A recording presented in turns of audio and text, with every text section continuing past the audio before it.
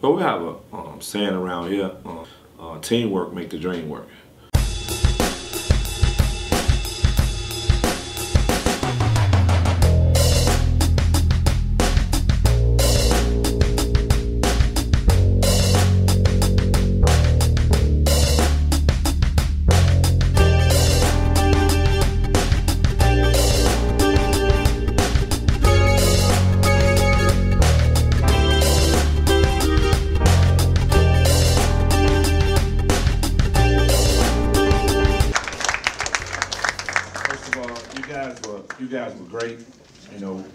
Watching the room. Me and Coach Slaughter was in the back, and Coach Nick was over here, and, we do these things all the time. And you see guys with their heads down, guys not paying attention.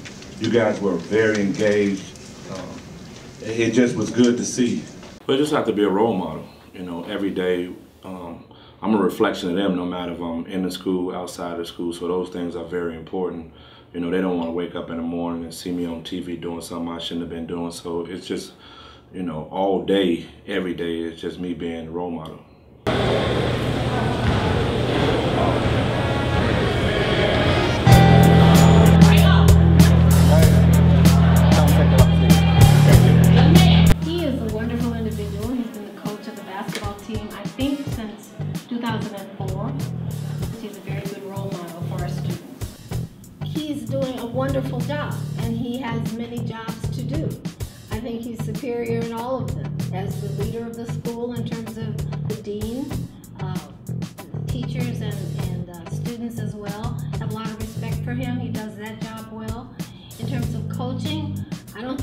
Another at this time that could replace him. I think he is indeed very unique and very accomplished, and he works hard, and we all appreciate it.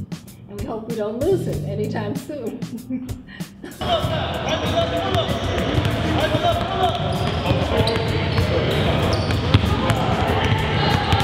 man, a mentor, father figure for many of the young men, uh, and his role doubles as the dean of students. So um, he has an opportunity to uh, interact with all of the student body in one capacity or other. And uh, him as basketball coach is just phenomenal things he's been able to accomplish over the years.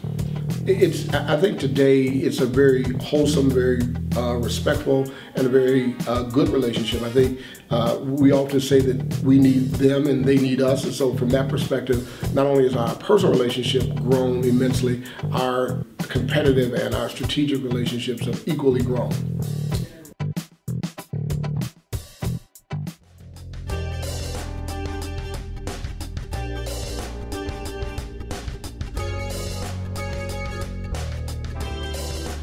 Uh, we're in LeClaire Courts um, at the park, Hearst Park. Uh, this is where all my basketball and baseball and wrestling and football dreams started at, right here at this park. This is where I spent 85% of my time at, you know, growing up as a child. So beat Larry Bird. You make it, you get one point. You miss, Larry Bird get two. You play up to 16. Yeah, the program, it, it originated at uh, Chicago State when Michael Jordan first got drafted by the Bulls. And then uh, five years after that, they transitioned to LeClaire Courts and played here at, at LeClaire Park, which was huge for our community as well because a lot of people was able to come see guys who were professional athletes who they wouldn't be able to go see at, you know, going to the Bulls games or anything like that. So that was a great time for the community. And myself, I had the luxury of being able to keep the 24-second shot clock and keep the clock and the book for those games. So it was great being able to see those guys at a young age and then being around those guys and being able to see what they were doing and see how basketball was really being played. And I think that's when I really started to fall in love with the game was, was being around that, you know, being around those guys, listening to them in the huddles and all those type of things. So it was it was really huge for our community and myself. I think that's kind of how I really gravitated to loving basketball, and I think that's where it started at. All my friends, we all came here uh, all the time and played, but the guy Ron McKee was was the most, you know, person that was in my life at that time who saw some stuff in me that I probably didn't see in myself.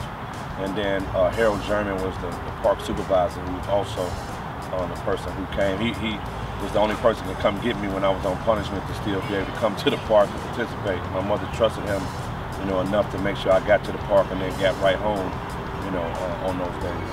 Uh, I still come to the community a lot. Um, recently I was just at the school, uh, at my elementary school about two weeks ago and dropped off some shoes to some kids who had some good grades on their progress report. I also came to the park and gave some shoes to some kids who uh, come to the park all the time and spend time there. So just still giving back to the community is something that I learned, you know, when I was growing up. So still giving back, even though that I'm away, I just don't want them to think I forgot about where I came from. Well, we had the flat court. It was all back here from 43rd and Cicero to 44th and Cicero, from 43rd all the way down from 44th to uh, 4th was the last street that the project came down on 44th and 4th. So we all was over there, spent a lot of hours in the, over there as well, you know, especially in the summertime is where everybody was at. Uh, unfortunately, we lived over here in the home, so we was kind of battling. They kind of thought we thought we were better than them because we lived in a house and they lived in projects. But when, whenever you ask me or any of my friends, we always say we're from the Flat Court even though we didn't physically live inside of the flat courts, we still say that we're from the flat courts.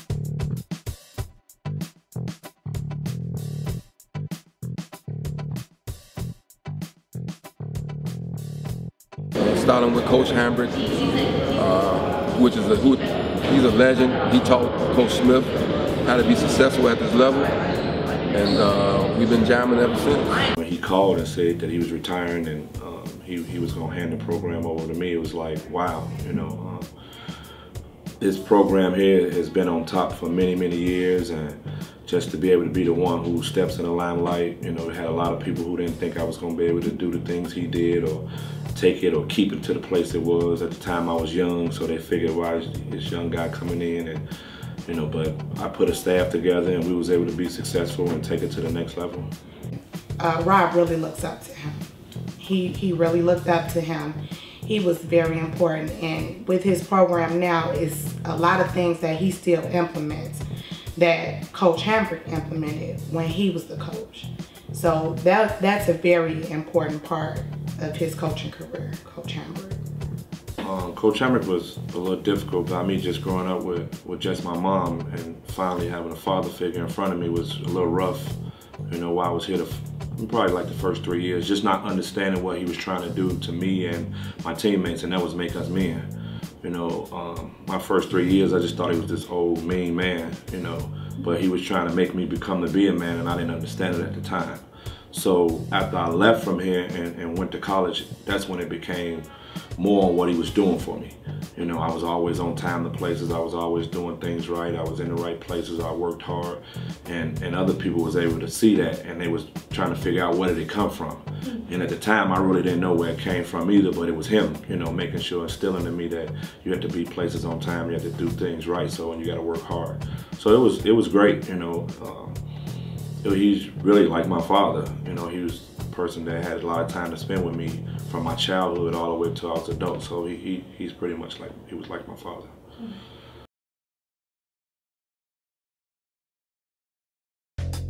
I'm free and open with, with how I grew up. I'm free and open with, you know, my father not being around and uh, my mother and grandmother passed, and I'm free and open with all those things so I can relate to everything that they have and I, it's not a secret on how I, was, how I grew up, you know, and they need to understand that, and I try to show them that that didn't hold me back from being who I am today. Every player is, you know, allowed to walk in his office, talk about no matter what it is, school, um, basketball, life, you know, um, advice. So, I mean, like, I feel like he has an amazing relationship with every player on the team because, like, um, we here with him. We actually we with him more than we with our parents because when we play basketball, we travel, we go to school here. Sometimes we got night practices. So I mean, we were with him a lot. So we've been able to talk to him was real easy. Throw that away. I think that I don't think we could take it on. Rob is a mentor. Rob is a principal. Rob is a teacher. Rob is a security officer. Rob is a lunch technician. Rob is an assistant principal. Rob is really everything rolled up in one.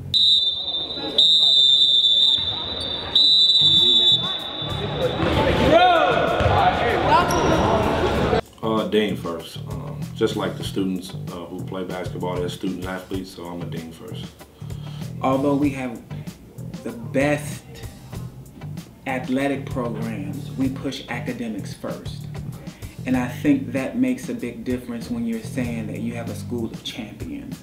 Because it doesn't make sense to have champions when your athletes can't go to college. And he's all about grades. He preaches about grades every single day. You know, uh, there's not one time that he ends the practice without make sure you're getting yourself in those books. You know, he's all about the grades. You know, he, God first, family second, grades, and then basketball. So basketball is number four in his books. As the basketball coach, I think he's a legend in his own time. We have accomplished so many feats with uh, under the guidance of Robert Smith. Uh, the, the gentlemen on the teams work so hard. They practice diligently. They're aware that they need to maintain good grades in order to participate. And so, of course, that makes me very happy also. like, if I see him in the hallways, it's just, man, you paying attention in class, man, what you learn today, just, it's not all about basketball with him, it's just about, you know, life after basketball and becoming a young man. Just being firm with them and, and, and keeping with that is, is very huge. And after a while, at the beginning, they don't understand but later on they will later, you know, in life and they understand what you were trying to do for them.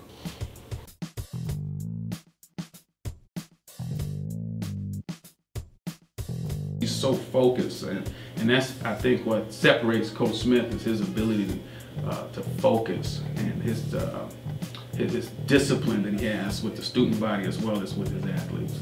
Uh, well, I'll probably have to say from like day one is just discipline. I think it's the discipline. I think the discipline, it, it, it goes from the basketball court onto the, to the, the world. Well, it was started before me. And Coach Hambric, the coach before me, started, and I just kept it going on, his legacy. Uh, and, and, it starts from discipline. You know, we all have to be disciplined. The students have to be disciplined. The players have to be disciplined. So, um, me being in this role as disciplinarian, and it didn't really helped you know but just just the guys being disciplined and being focused and understand where they're trying to get to in life and not just you know just basketball because um, a lot of times they don't get a chance everybody's not going to make it. So what are you going to do after that? And we talk a lot about you know what's going to happen after the ball starts bouncing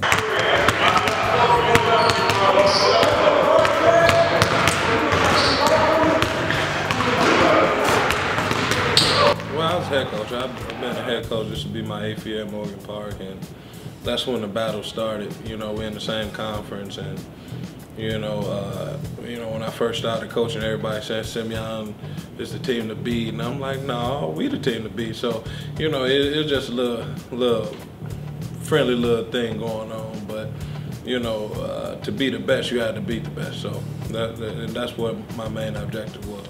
My biggest rivalry right now is Morgan Park. Um, Coach Irvin is, is, doing a great job over in Morgan Park. He's been there for five or six years and they challenge us every year for the conference championship and a lot of our kids play AAU for him uh, with the Mac Irvin Fire. So it, it's a lot going on with, with him knowing the kids and the kids knowing him and he wanting to beat the kids and, and, and our kids want to beat them. So that's our biggest rivalry right now. Doing a fantastic job.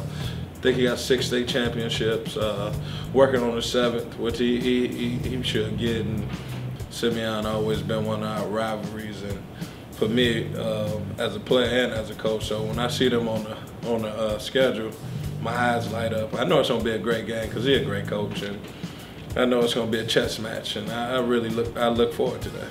Well, I think when you talk about beating uh, Coach Smith and Simeon, the, the first thing we do is we pray. And we, we pray a lot because uh, Coach Smith has done a phenomenal job, not just coaching his program, program, but also building it and, and, keeping it at a at a certain level. And and they, they've been very good over the years. They've had some phenomenal players, and you know, and, and, and Coach Smith does an outstanding job of putting that collaboration of players together. So it's always competitive. One of the things that we talk about with our guys really is about us doing the very best job that we can do doing what we do. And if that's not good enough, then ultimately we're not going to win. But if it's good enough and we are good enough at what we do, we're going to be successful. You know, it, it's nothing accepted but winning, you know, and that's the way I've been uh, growing up as a kid when we played Simeon, when I played basketball.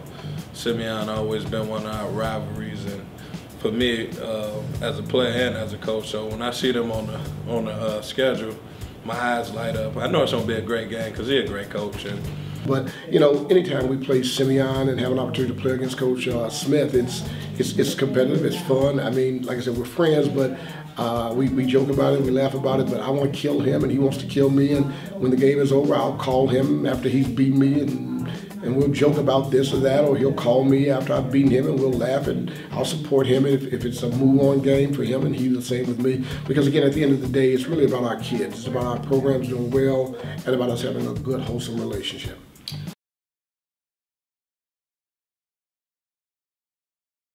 Because you know when you comfortable and and you love helping kids, that that that makes your decision that much harder and that much tougher. And so I think that's that's you can say that, but and also he, he deserved to go to college. I mean, what more he have to prove on this level is coaching. You know, he got six state championships, he got city championships. I mean, what's more, what's more can he accomplish? Uh, hopefully, my uh, career can transition to coaching uh, college basketball. I, I, would love to have that opportunity to go to the next level and, and coach college basketball, but the situation has to be the right situation. Uh, I have a great situation here at Simeon. You know, I think it's one of the best high school jobs in the country. You know, so to make that move would have to be the best um, situation for me and my family. We feel as if if we're on our best, then we can't be beat. So I mean, I feel like that's that's real big. So he, he got confidence in the players and what he does. So I feel like it it can go on to any level in my in my opinion. What he done in the city and what he done for high school basketball. I mean, Rob should be in high school coaching. He should be on the college level and getting his opportunity that he deserves because he put in the work and the time and effort.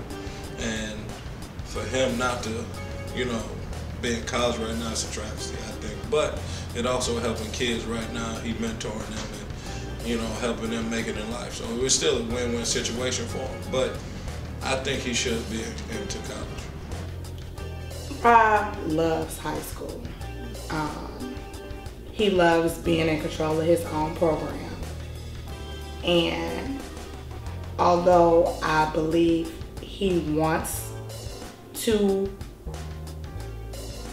coach college or maybe even go further, um, I just believe that his heart is with um, the youth in Chicago.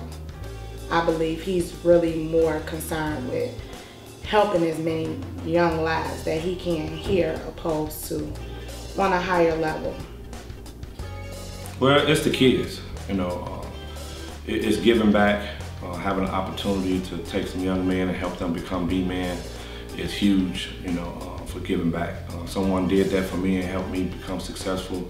So it, it's just dear and near to my heart to, to do the same thing. Tradition is rich here.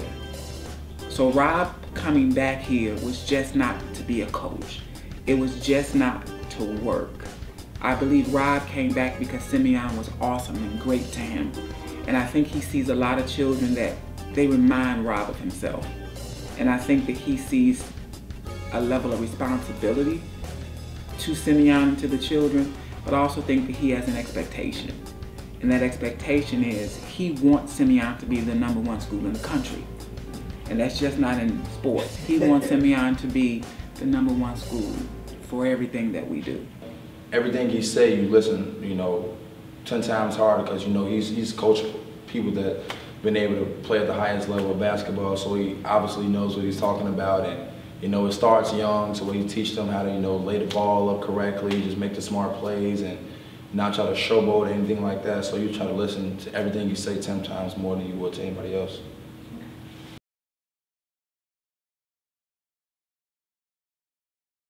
I think if you go back to that day, what you had were two teams that were uh, by distance no more than two miles apart. The, the students that attend both schools live in the same neighborhoods, uh, so they have pride in their both institutions. You have two coaches that have tremendous pride, tremendous uh, confidence in what they can do, and they play a game, and one team wins and one team loses. The natural response, no matter what we coach and talk about, is that the, the, the energies are going to be high in the game itself it happens all over the country. It, it's it's it's par for the course. Now, the, the, the events that happen after the game, outside of the game, they were found to have had nothing to do with the game itself. The game on court, you know, uh, the young man and whoever the other people were uh, started in their neighborhood, and then they just saw each other at the game. So I think the media kind of you know blew it up, you know, out of proportion and make it more than what it was. So, um, you know, that, that's part of the territory. You know, um, our kids were fine. You know, uh, their kids were fine. Unfortunately, someone had to be killed uh, out of this, but um, the, the media just, I think they took it a little bit overboard. Yeah, um, well, I don't, the punishment, I don't, I never thought it was right. You know, I, I think it was just a misunderstanding and, you know, and, you know, just a rivalry team going at it and, and, and wanting to win. You know, it, it, it wasn't no punches thrown. It, it, it wasn't, you know, to a severe where you, you know, you get a four game suspension, but we took it like a man. I don't think it was fair on either one of our parts because what happened outside had nothing to do with what happened on court.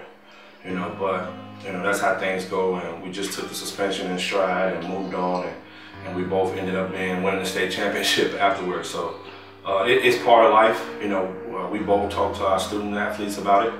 You know, uh, about the situation when we both got suspended, and of course they didn't think it was fair because they knew that it didn't have anything to do with us. But we just let them know that that's that's part of life. You know, it's a, a growing process. Well, I think they did it because it was two high-profile coaches and two high-profile programs, and you know they had to start somewhere and put punishment somewhere. So they said, "Hey, why not start with them two? You know, and, and I get it, I understood it, but at the same time, you know, the kids asking why, you know, why they do that to, to own, and and like I explained to them, I said, life ain't fair. I said, so you gotta live live your life to the fullest and be cognizant of what you do in life. That was tough. Uh, being an assistant coach, uh, you got to think about the players, how they're going to respond to, to, seeing their coach, the head coach, not being being able to coach them for four games. So that was the biggest concern of mine. Uh, after the first game, I seen that they they didn't lose focus. It was a breeze. I knew that Coach Smith taught me how to step in for him in, in those situations. Well, we had some really good kids. I think it opened their eyes up a little bit more about, you know, who they really are, you know, um, and, and don't take things for granted. You know, they're, they're, they're superstars, you know, and, and, they need to understand that. So uh, I think that kind of just opened their eyes up a little bit more who they really are. And everybody thought, you know, we hate each other, we don't like each other, we don't get along. It, it wasn't never that, you know. Me and Rob always been friends, we're gonna continue to be friends. I called him, talked to him, he called me. You know, like he called me getting the elite class. I said, I'm in. You know, it wasn't no hesitation when I called him for things. It ain't no hesitation. And and we talked about many on, on many occasions where we need to get out into the streets. We need to, you know, try to help mentor these kids and help stop some violence out here. And and and that's what we're gonna try to do. And a lot of a lot of people blew it out of proportion. I I don't understand why relationship is great. You know, we've always been friends. We're, we're real good competitors. I mean, we, we want we compete against each other every time we step across those lines against each other, and that's that's most of the guys that we coach against. I'm not really sure. I'm, I'm not. There can be times where it's blown out of proportion, and then there can be times when I just feel like he's not recognized enough um, just how we talked about the mentoring thing and touching so many lives. I don't think they focus enough on that. I think it's sometimes a lot of negativity that can be thrown and on the back burner. I just feel like um, they don't really know him.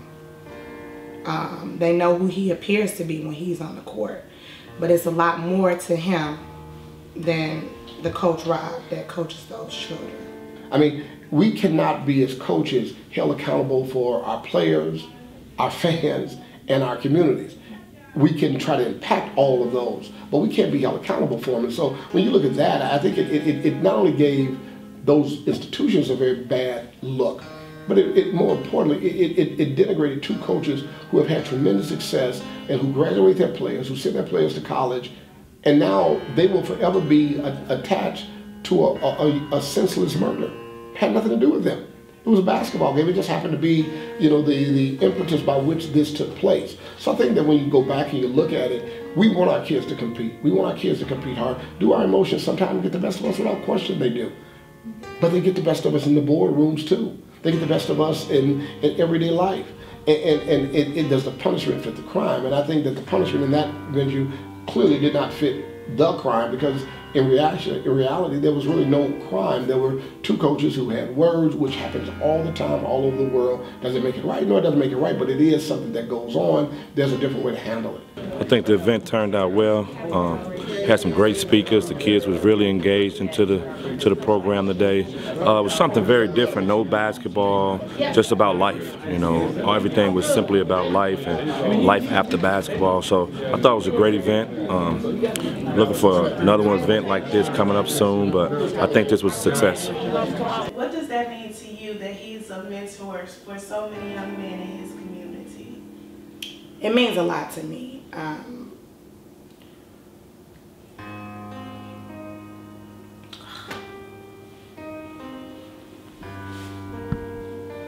Oops. Um, well, you know, for years, I didn't quite understand. Um, it was boggling to me how someone could put so much into uh, people and for them to be ungrateful or unappreciative. And so we would have our issues um, because I would just say, you do all of this for people and they don't even care. Their parents don't care. And so um, I finally got it, you know. Um, I realized that's his calling. And so for him to help so many young boys, take them off the streets, um, sometimes get up in the middle of the night to take phone calls, uh, run to jails at times, is, is set with me and I understood that this is what he has to do. And the biggest reward is how he feels. And it's nothing anyone could ever do for him or say to him to stop him from helping people. So for him to be a mentor to so many people, it is it's wonderful to me now. At first I was furious about it. But now it's wonderful. And so the arguments slow down, you know. And then it's not like it's taking anything from our children. They have everything they need here. So it, it's well.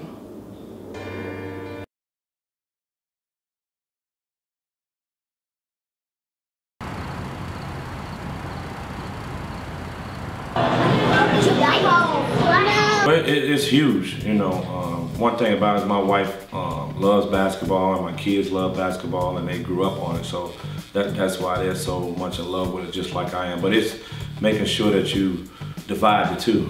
You know, um, I, I, spend my hours at home with my family. I give my wife her space to, to be by herself while I take the kids and, and do things with them outside of basketball. Uh, sometimes I had them come to practice just to be around it and, and, let her have some free time because I don't want to just burden her with the kids all the time while I'm just doing basketball. In the off season, I spend a lot of time with, with them. You know, as a whole, we do a lot of things.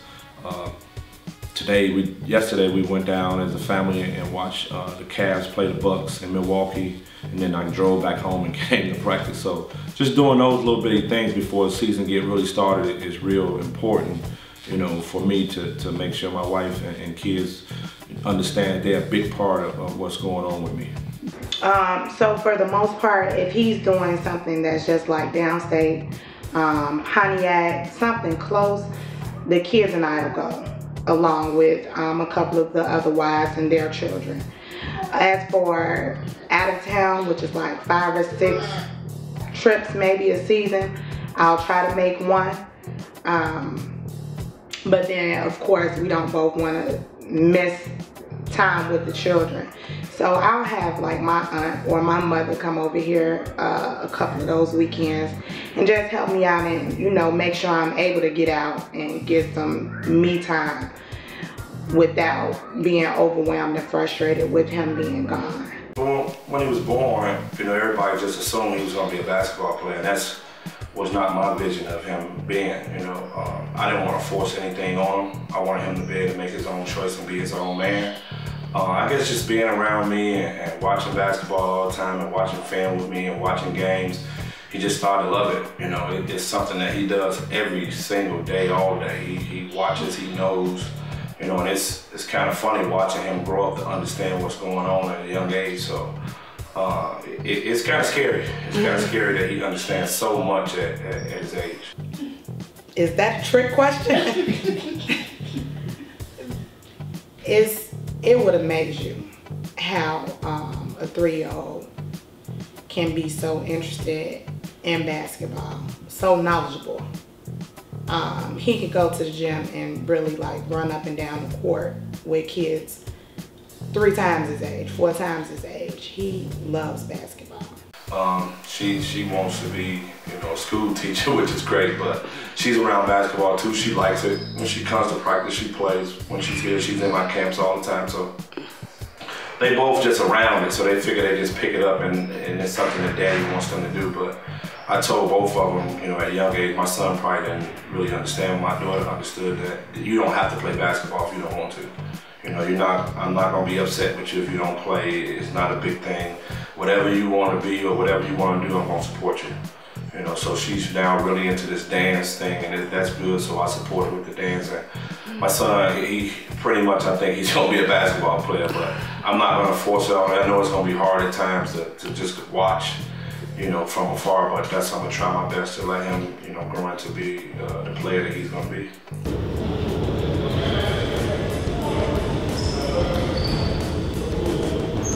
I think Rob's work ethic, I think they speak for themselves.